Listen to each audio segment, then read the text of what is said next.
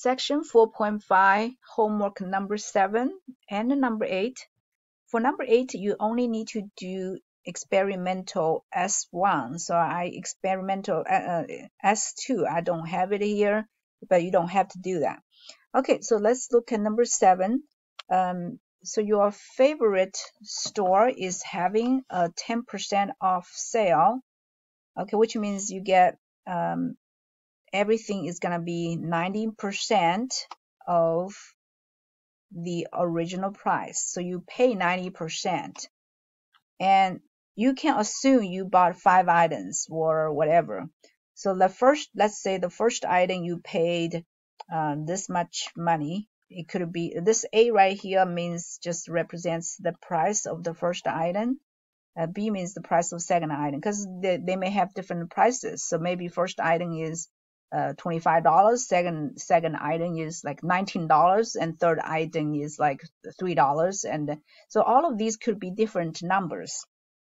And um, the question is asking you, will you get the same discount either way? So uh, which two ways? So when you calculate the price, you could take 10% of the total of everything, or you could take 10% of each item. Again, um, when you take 10% off, you the easier way is just do 90% of the original. So for example, if you bought something for $100 and you can take 10% off, which is um, $100 times 10%. And literally that gives you $10. So you take knock $10 off, that gives you $90. So you instead of doing this, you could just do $100 times um, 90% off. Uh, notice 90% literally it's 0.9. So you could do 100 times 0.9, that gives you $90. So it's the same, it's uh, technically the same thing.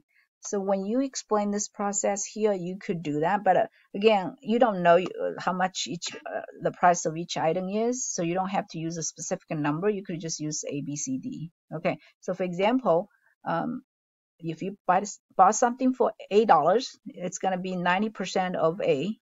If you bought something for B dollar, uh, this much money B, and it's ninety percent of B. And so this is like taking uh, calculate the price of each individual item.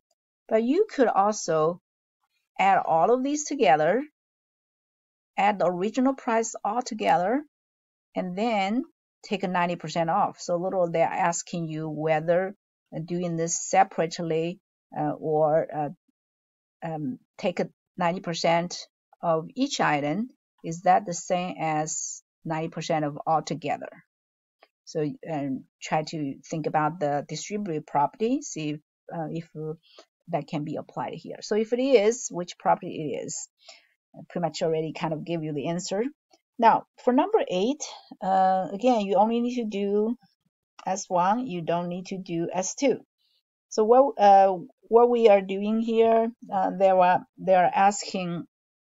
Uh, I'm doing a simple example, like for example, if we want to find 80% of 140, and so we instead of doing 80% directly, we could do 50% because 50% means half of 140, which is easy to calculate, which is 70. So the the thinking, the process is I can do 50%. And then um, I can do another 25% because 25% is half of the 50%. And so if we do 50%, which gives us half of 140, that's 70.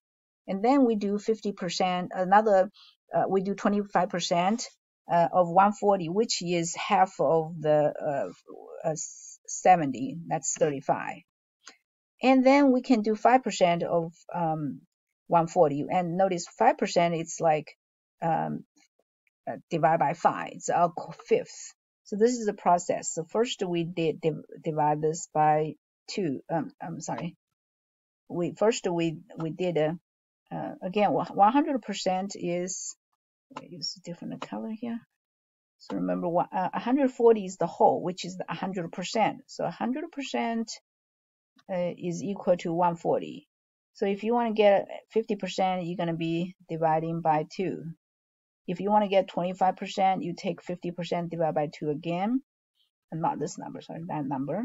And then um, if you want to get 5%, you would divide by 5. Maybe I should just use a chart to show that, like the example we did in, in class. But they didn't ask us to do the short, uh, chart. They just table. They just ask you to do this. But if you need a little bit help before you set up this, uh, this is what you can do. So 100% corresponds to 140 percentage and the corresponding amount. So we can divide by 2 to get first get 50%.